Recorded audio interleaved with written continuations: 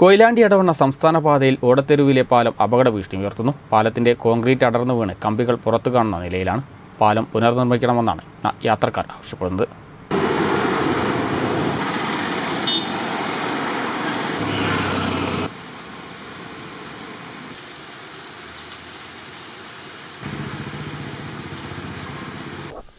എടവണ്ണ കൊയിലാണ്ടി സംസ്ഥാനപാത നവീകരണം ഏറെക്കുറെ പൂർത്തിയായെങ്കിലും കാരശ്ശേരി ഗ്രാമപഞ്ചായത്തിലെ ഓടത്തെരുവിലെ ഓവുപാലം ഇപ്പോഴും അപകട ഭീഷണിയിലാണ് ഒരു കിലോമീറ്ററിനുള്ളിൽ ഒൻപത് വളവുകളും വലിയ കയറ്റവുമുള്ള സ്ഥിരം അപകട മേഖലയാണ് ഓടത്തെരുവ്.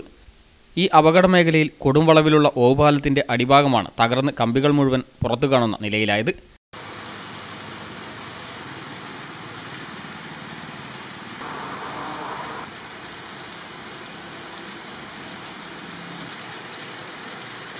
അൻപത്തിയഞ്ച് വർഷത്തോളം പഴക്കമുള്ള ഓവുപാലത്തിന്റെ കമ്പികൾ തുരുമ്പെടുത്ത് കോൺക്രീറ്റ് അടർന്നു വീഴുന്നത് വർദ്ധിച്ചിട്ടുണ്ട്.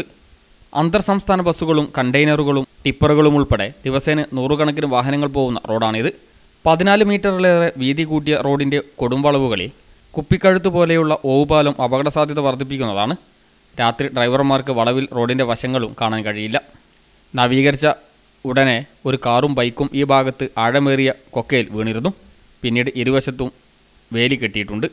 ഓവുപാലം വീതി കൂട്ടി നവീകരിച്ചാലേ ഈ ഭാഗത്ത് ഗതാഗതക്കുരുക്കും അപകട സാധ്യതയും ഒഴിവാക്കാനാവൂ.